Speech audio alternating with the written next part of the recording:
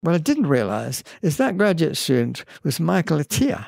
All was like saying, yes. You see, when I was in Cambridge doing algebraic geometry, I was trying to solve a problem that my supervisor, William Hodge, had suggested. He had given a list of problems, blah, blah, blah, blah, blah, blah, blah. And he said, You can work on any of these. And I didn't understand any of them. Oh, the bottom one I can understand. Yeah, I'll try that one. See, on, on, so I did. I sat in on this class and I didn't understand a single word that went on. It was way above anything I knew at all. Uh-huh. And I thought, this graduate student, if they're all like that, what am I doing here? What I didn't realize is that graduate student was Michael Atiyah. Michael Atiyah was later to be- become a Fields medalist, become one of the first winner of the, the there's another prize, mathematics prize, the the uh, Dirac medal? Abel Prize. That's right, the Abel Prize. He was one of the earliest winners of the Abel Prize, and he became president of the Royal Society.